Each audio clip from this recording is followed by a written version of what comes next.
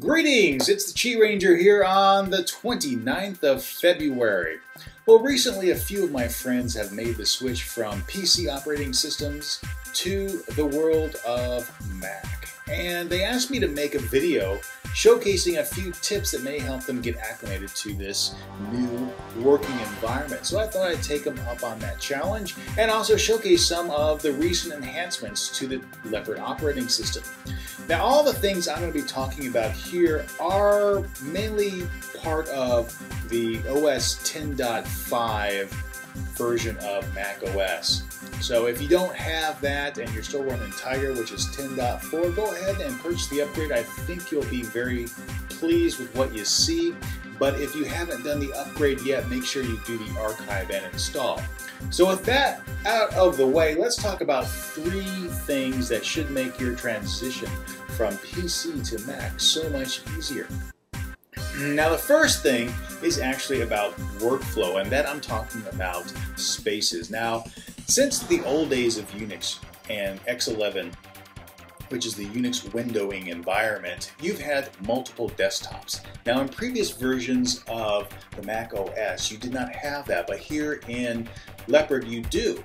Now by default, when you purchase a new Mac, it is turned on. However, if you have upgraded from uh, Tiger, it may not be. So you may actually have to turn on. I'll show you where in the system preferences you can do that. But the nice thing about Spaces is that it actually allows you to have multiple desktops, to have a really clean look and feel, and navigate between your different work environments. It makes things so much easier.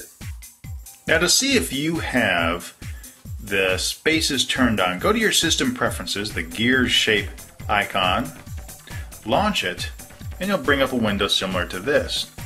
Now going to the top row, you'll see Expose and Spaces, and the right tab for Spaces. You'll see if whether or not this portion right here is enabled.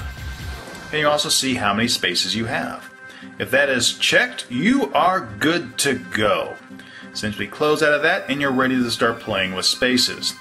Now, in most of the docks, you will find the Spaces icon, which is right here. Looks like a little window pane, and your cursor will say that it's Spaces. By pushing it, you'll see all your different desktops. Now, I have four desktops running, each one with a different programming. In this one, I have my web browser, I have Word, iMovie, and Preview over here. Simply just clicking on a desktop activates that window. But sometimes, you know, you don't want to use a mouse. You don't want to use your trackpad. That's okay. By holding the control key and the number of the window, you can actually switch between the various work panes. For example, I am currently in pane 1. I can go to 2, 3, or 4. I can go back to 2, I can go to 3, I can go to 1, etc., etc. You can also use the control key and the arrow keys to navigate between them all. If you don't have the spaces in your dock, you can also push the F8 key to bring up the menu as well. Now second up, we are going to talk about keyboard shortcuts. Now a lot of people when they move to PC, from PC to Macs have a hard time with the Apple configuration of the actual keyboard. What do I press because I'm so used to using the PC control key in Windows? Well, in Mac, nine times out of 10, nothing really changes. The only thing that changes is that you're going to be using the Apple or Command key, the one with the cloverleaf design on it. So if you're bolding something in your word processing document, it's Apple B. Copying, Apple C. Pasting, Apple V, etc., etc. However, there are two really fantastic keyboard shortcuts that I use all the time that I'll share with you here. And they involve deleting and emptying the trash can. I personally hate dragging stuff to the trash can. It bugs the it bugs me. That's what it does. It really bugs me. So all you have to do is hit the command key, the Apple key, and the backspace key, and that will automatically move whatever you selected into the trash can. Now when you're ready to finally delete the trash can, instead of going up to the main menu, what you can actually do is hold down the Apple key, the Shift key, and the backspace, and that will automatically delete the trash bin. It's fantastic. It's a huge time saver. I love it.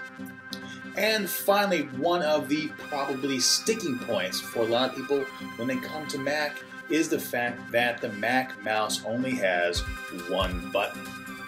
Now, you may be thinking, oh, that's no big deal, but if you are, have been using a PC for years, you really rely on that right click. Now, in the Mac operating system, they call the right click the secondary click. And if you're using a mouse, such as this wireless mouse here,